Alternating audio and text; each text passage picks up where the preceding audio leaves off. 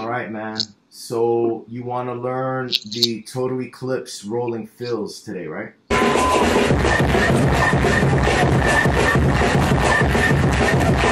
Yeah, it's. It's like I've been focusing on that for a while, but I can't. I don't know. I just can't grasp it. All right. So let's just start from where you're at with the movement. So if you don't mind, perform what you know of the total eclipse rolling fills, and then we'll take it from there.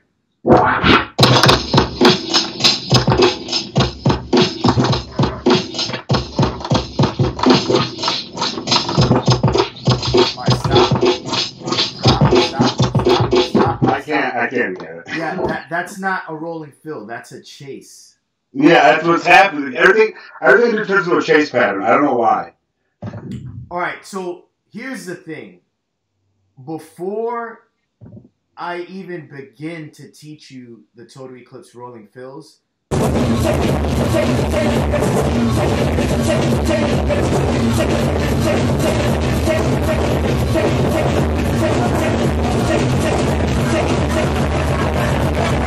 I need to verify if you know how to do the rock the bells pattern.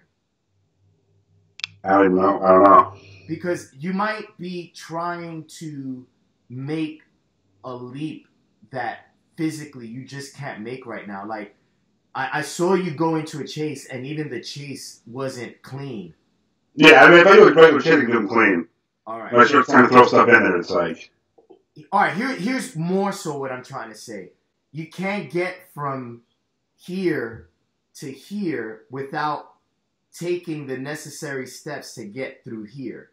okay, So before I teach you the total eclipse rolling fills, I need to verify if you could do the rock the bells pattern. The reason I say I need to verify whether or not you could do the rock the bells pattern before we get into the rolling fills is because eclipses rolling fills is just a combination of two root movements. Remember the root moves that I've talked to you about?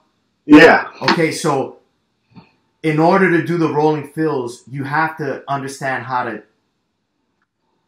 perform the rock the bells pattern and the sucker MC snare fills together. okay, So if you can't do those two root movements together combined, you won't be able to do the rolling fills. So first, let's do the rock the bells pattern. I'm gonna demonstrate it and see if you could just mimic the moves without me walking you step by step. okay. All right, here we go.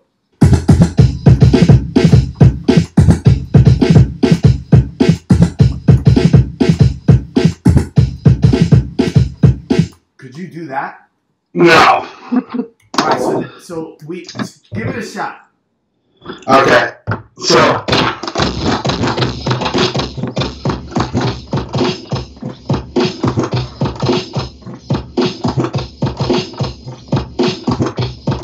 right, stop.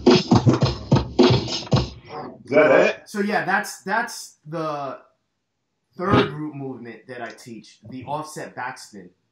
Coincidentally, the fourth root move that I teach is the rock the bells pattern. So I'm assuming that the last lesson that we had, maybe over a year ago.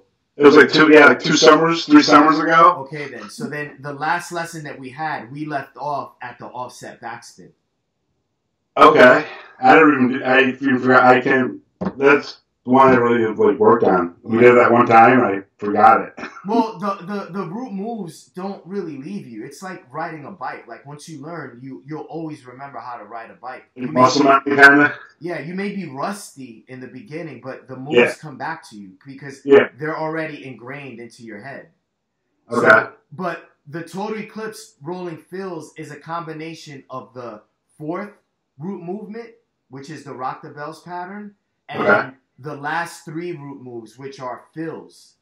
Okay. And there's no way that you're going to be able to jump from the offset backspin to the total eclipse rolling fills. So we have to figure out a way to help you take one step at a time to get to that level where you can execute the rolling fills. And that's why you haven't been able to grasp it. It's because there are other root moves that I haven't taught you yet. Okay. Okay? So Yeah. the next root move that we need to learn on your journey to learn how to execute the rolling fills that Eclipse does is the rock the bells pattern. Okay. So the first thing that I want to teach you is the initial level, how to start the pattern. So Okay. what you're gonna do is you're gonna cue up the right turntable at Okay. the beginning to the one, and I want you to just do this. Right? So what you're gonna do is drop the right turntable, swap to the left, drop from the one. When you hear the snare, then just move the fader back to the right, and and by then your record hand should be at the beginning, at the one of the top of the drum beat. Okay. All right, so it's gonna be, and then move the fader back to the right and rest, and then do the pattern again, and then move the fader to the right, rest a little, and do the pattern again. Give it a shot. That was good. That was good. Keep, keep doing that. Keep doing that.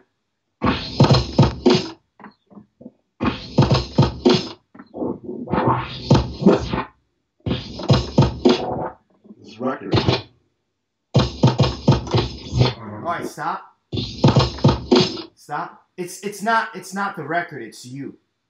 So you a little more push. No, it's not that. You you need to learn how to control the record better. See, now you have your right hand at nine o'clock, but a few seconds ago you had your right hand closer to like six thirty, Okay. and you're not going to be able to control your juggle movements with your hand at six thirty.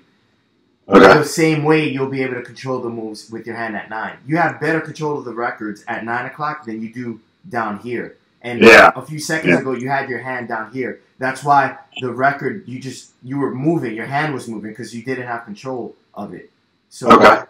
control your hand so that you're not hearing extra noise that shouldn't be there. Okay.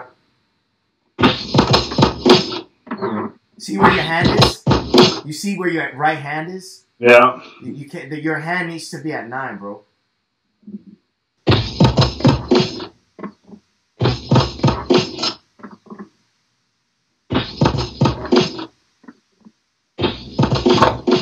All right, stop. You just did the second level of the Rock the Bells pattern, and you probably weren't aware of it. So it might be a good idea for us to start trying to get you to understand that second level because you're doing it inadvertently. So what you're gonna do now is when you drop the left turntable, your Okay. left hand takes the fader, crosses over to the right, and then back to the left. Okay. As you're doing that first level move, you need to add one more step, and that step is gonna be taking your left hand, crossing over to the right, back to the left.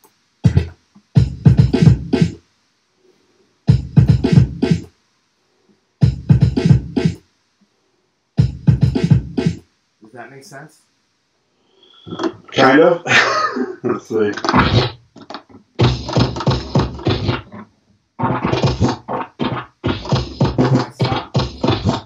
When you let go, stop, stop, stop, stop, stop, stop.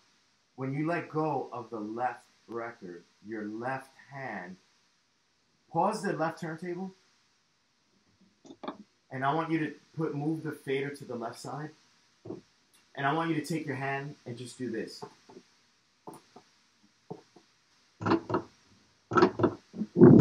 Do it faster. Do it faster.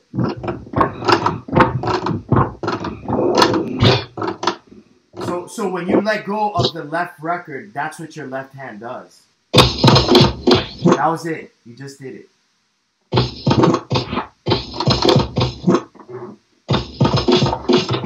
Right.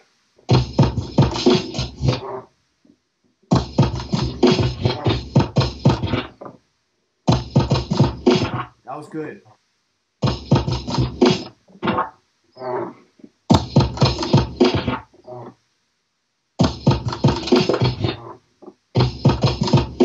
That was good.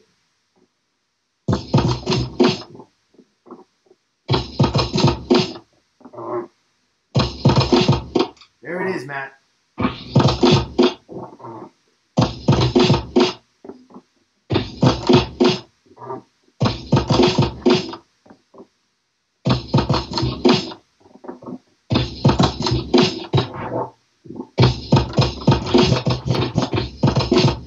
Yes. Oh, shit. Is that it? That's it. That's it. Now, what do we do to end the pattern if you're going to start it from the left? These are brain busters, man. I have I wanted to learn how to do the rolling fills. Is that it? I'm asking you, what do you Ah. do if you're starting the pattern on the left side now? What do you do? What's the next step? Back on the left and go back to the first kick, right? Exactly. Exactly. Okay. There it is. Yes.